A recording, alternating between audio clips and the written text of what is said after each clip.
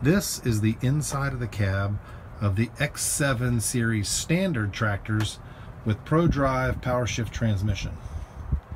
The X7 standard series is a simplified lower spec version of the X7 premium configuration.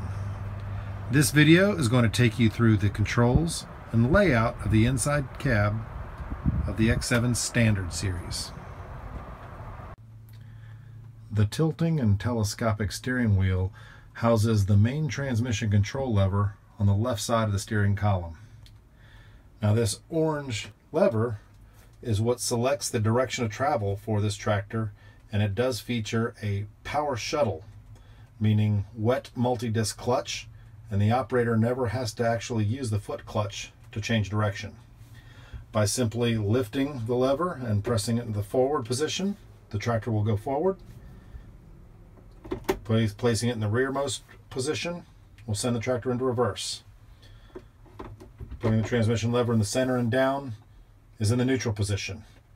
At any time during operation, the operator can simply shuttle from forward to reverse and back again as easily as moving the lever.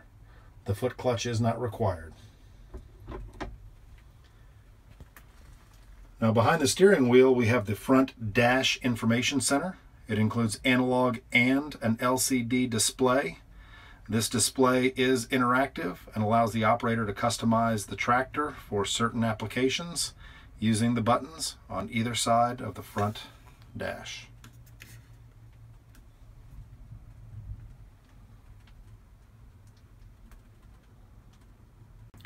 Most major tractor controls are located in the right side console.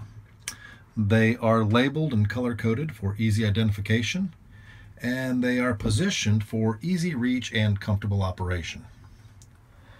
The multifunction control handle near the front of the console is a rigid handle where the operator can naturally rest his arm, kind of grab hold and place a little pressure on it, and it just makes sense for holding onto this handle while other controls are integrated into it.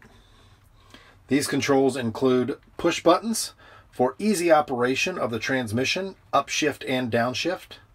The PowerShift transmission is a 24 speed transmission with four power shifts and six ranges. It is fully automated with electronic control, simple push buttons to upshift and downshift through all gears and ranges. There are two blue buttons to operate the first rear hydraulic remote valve electronically. There is a button labeled with APS for auto power shift. By engaging the auto power shift feature, the transmission will automatically shift through power shifts and ranges. Otherwise, by disengaging, it, the transmission is purely manual and the operator takes control using the transmission upshift, downshift buttons. There is an engine speed management button, allows the operator to program and then recall a selected engine speed, say for PTO work. There is a rear three-point hitch raise and lower button for controlling the rear three-point hitch, and a simple declutch button. If for any reason the operator wishes to clutch the tractor by simply pressing and holding that button, it does the same thing as pressing the foot clutch. It releases the engine from the transmission, and when the button is released, the transmission re-engages.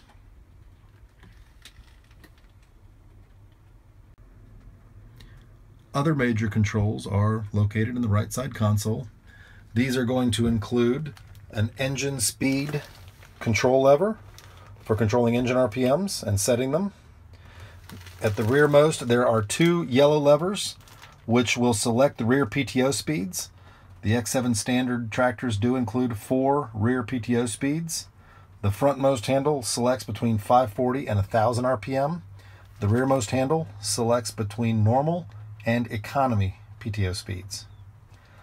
The black lever in front is a creeper range selection. It allows the operator to mechanically select an 8 to 1 creeper reduction gear that get, provides uh, low speed, high RPM for specialty applications. There are several knobs over on the right side to adjust the rear three-point hitch for depth, uh, draft sensing, rate of drop, as well as maximum height for the three-point hitch. Three color-coded mechanical levers in the right will operate the rear remote valves. So every X7 standard series has up to four rear remote valves, one electronically driven, and the three remaining are mechanical via these levers. There is a operator presence switch that can be deactivated with the press of this button so that the operator can actually do things such as run the rear PTO without having to be in the seat. It is a safety switch and does conform to OSHA standards. There is a rear differential lock button and a four-wheel drive button. Allows the operator to easily engage and disengage these functions. The auto PTO function. It actually ties the PTO engagement to the rear three-point hitch position. When you raise the three-point hitch, the rear PTO will turn off and when the rear three-point hitch is lowered, the PTO will re-engage automatically. There is also a simple rocker switch, a safety rocker switch for engaging and disengaging the rear PTO manually, a 12 volt power supply, and a simple knob located right behind the multifunction control handle. This knob allows the operator to adjust the shuttle modulation, i.e. it means uh, when the operator shuttles from forward to reverse, how aggressively does the transmission engage gears and uh, disengage gears to go from forward to reverse. Those are the major controls of the X7 Standard Series with ProDrive transmission. For more information about these tractors, please visit our website at www.mccormickna.com.